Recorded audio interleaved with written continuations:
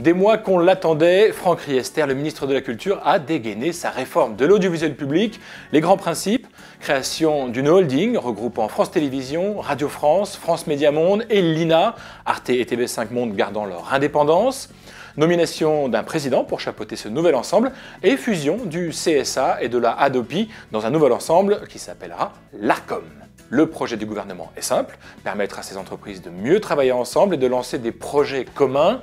Jusqu'ici, à part le média global, France Info et dans une moindre mesure Culture Prime, les synergies entre ces entreprises manquaient. Alors est-ce que ce gros paquebot calqué sur le modèle de la BBC permettra d'être plus efficace? C'est à l'usage que nous jugerons et il reviendra à ce nouveau grand patron, ce méga président de s'en assurer. C'est lui d'ailleurs qui aura la main sur les cordons de la bourse. Pour faire le casting, après l'expérience, nomination directe par le président de la République et euh, choix par le CSA, c'est désormais au conseil d'administration qu'il reviendra de se choisir un président. L'État y aura trois représentants sur 12, auxquels, attention c'est important, il faut ajouter deux autres personnalités qualifiées et indépendantes, comme veut la formule, qui seront choisies par l'État, et deux autres choisis par le Parlement. Vous le voyez, le pouvoir politique ne perdra pas la main sur le conseil d'administration et donc l'audiovisuel public, une mauvaise habitude qu'on n'a pas encore réussi à perdre.